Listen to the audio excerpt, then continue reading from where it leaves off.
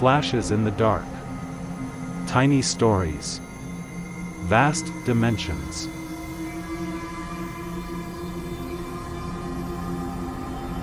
The highway.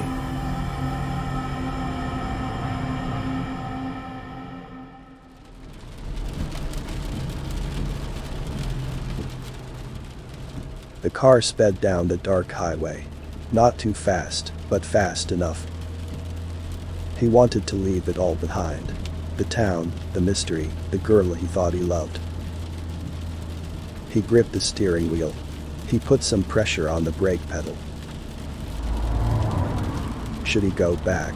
Should he go deeper? Did he really want to know?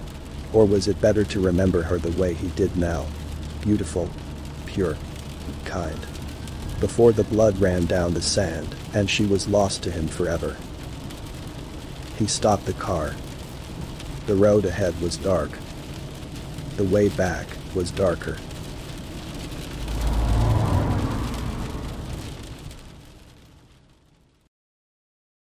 Copyright Ahmed Khalifa, 2021.